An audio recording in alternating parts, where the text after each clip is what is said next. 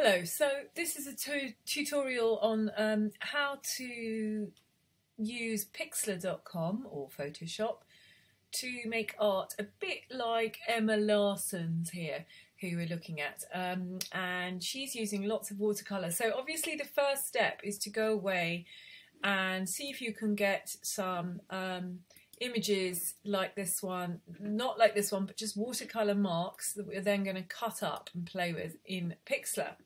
Okay, so uh, let me show you what I've done, a much simpler version, I'll have to say. Um, I have to admit that I slightly cheated, and maybe in the first instance you could cheat too. How do we cheat? Well, clever old Google, Google you can um, actually uh, Google some for watercolour marks and go to Tools, Size, Large, and people have actually input watercolour marks. So you might want to try that. On the other hand, you might think it's much, much better, and it is, to make your own if you have watercolour at home. Okay. Um, we can see on Google we do get, there are quite a few of very good resolution, 1000, yeah, that's all right. Um, that'll be just about okay, yep. So uh, you can just right right click and copy image or save image to play with what you can find on Google if you're just having um, you know your first go at this. Okay, so here we are back to here. Um, we've started off with a white layer in our, our backgrounds and we have brought in uh, what have we got here? This blue blob. Um, so you can see that when it was actually made, it was probably much, much smaller, but um, when it's scanned at high resolution, it uh, you can really blow it up and you know go in quite far and it's, it's really good quality and it, it sort of bring highlights those watermarks you get. So um, what I did here was this is actually two pink marks um, blended by using the um, multiply uh, blend mode and then merged together. So it was two layers originally. And um, you can see that you can sort of keep creating duplicates to in order to have stuff to play with. And that you can then move around and you can you know keep playing with that blend mode and get more and more complicated objects. Um, now these ones seem to have uh, let me just do it on this one hold on. Um, it does have its uh, its white um, background is still there.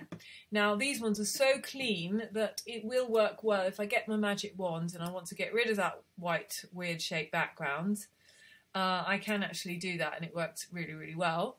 Um, it depends on your watercolour marks really. If they're ones that you've made you might find, you might get really frustrated and find that the white, when you're selecting the white with your magic wand, it's actually going to to eat out half of your shapes as well.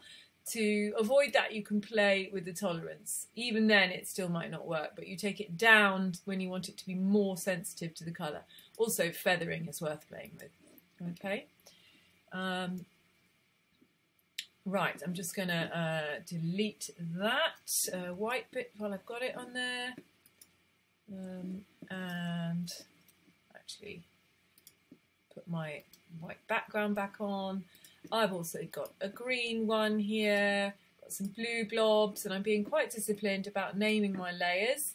Um, I need, by the way, it's a V. If you want to press uh, uh, to go to the moving tool, this one at the top, the sort of arrange or select tool, you just press V. It's a very useful shortcut. So what blending mode have I got that on? Darken. Okay, that's quite interesting. Um, when you've got sort of some kind of combination that you like, uh, you might want to then go to merge the layers to create one, lo one, one layer, just to keep it more interesting. So you can go merge down, merge down, merge down, and then merge as many layers as you like to make one. So for example here, uh, blobs combined, this layer, um, this is what it looks like when it is not uh, blended, so it's still got its white background on. Um, and what we can do is put it on the blend mode. I quite like colour burn on this instance because it gets really, um, you know, intense colours there. Okay, So you can have a lot of fun with that and really play with combinations of, um, you know, your marks. You can even, um, for example, here's a blue one. What happens if I try and go to adjustment, hue and saturation? You can change the colours once it is, um, you know, on your screen.